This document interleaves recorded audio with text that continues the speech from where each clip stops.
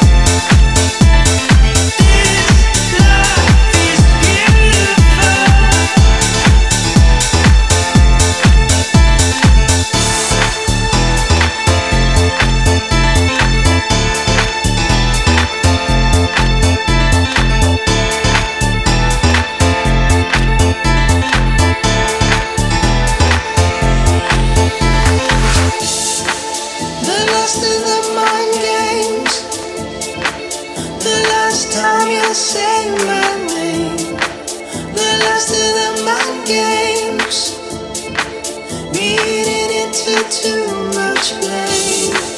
We find our own way.